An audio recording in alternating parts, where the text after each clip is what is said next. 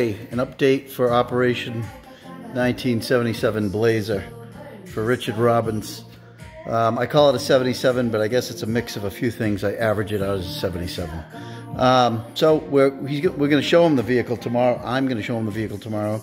Right now, I'm putting on uh, this camera around, putting on the new trim kit.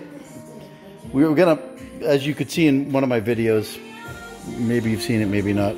Um, I was going to polish, and I did polish his old trim, and it came out pretty good.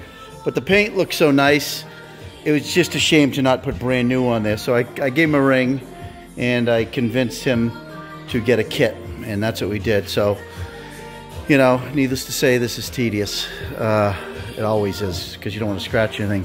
But that's what I'm doing.